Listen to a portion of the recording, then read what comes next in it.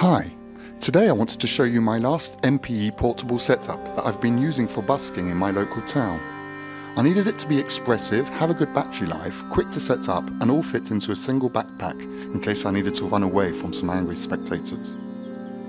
As MPE controller I decided to use the ROLI Seaboard blocks for its expressiveness, its size.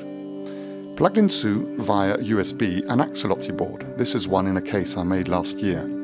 The Axoloti then goes into a recorder for this video and then into a Roland mobile cube.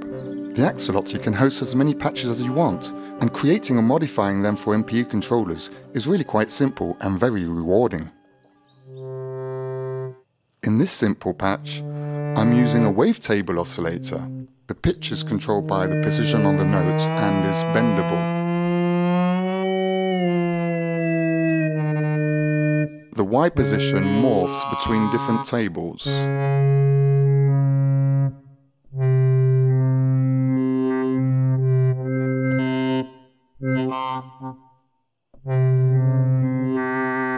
And as all this is multi-expression, you can do this polyphonically, with a different expression on every finger.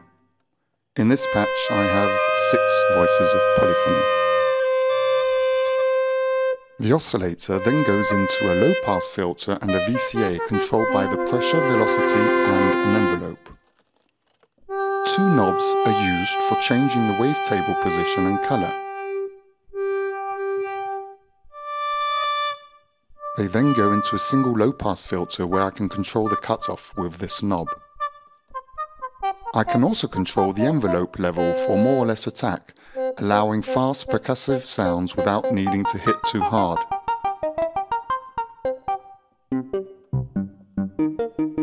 The sound path then goes into a distortion for warm fuzzy sounds.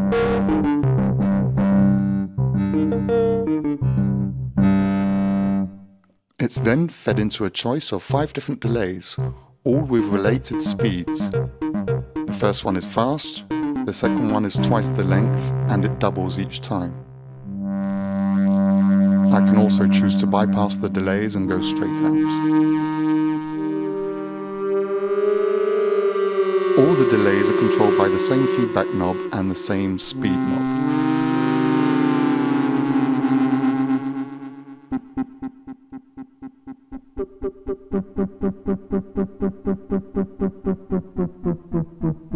The sound then goes into a nice reverb because, well, we all like a little space.